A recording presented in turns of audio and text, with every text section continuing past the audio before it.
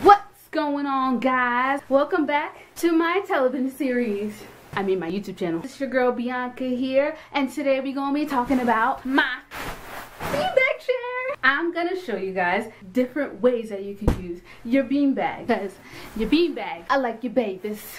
There's many things you could do with the beanbag. You can sit on it and be lazy and be real lazy. You could just lean and lean and lean and lean.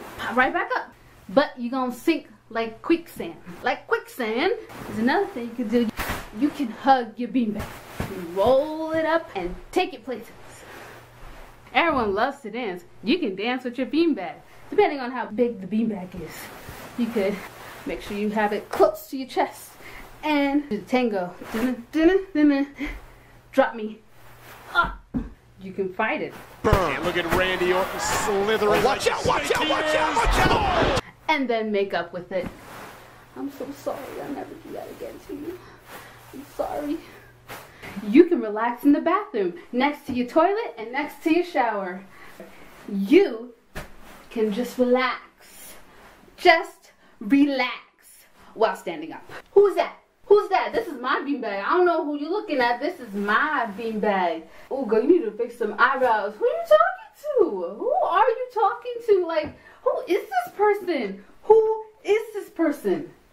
Oh, yeah, that's me, my sex, though. Another thing you can do with your beanbag is relax in the kitchen. Grab some popcorn.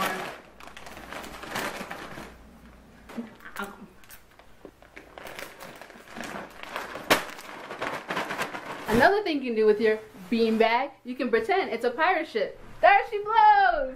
Okay guys, thank you for watching today's video. I really appreciate it. Remember to subscribe because I come with videos every week. So stay tuned. And also I gotta take my beanbag to therapy because very traumatized right now. And Bianca rolling out. Bye, Z.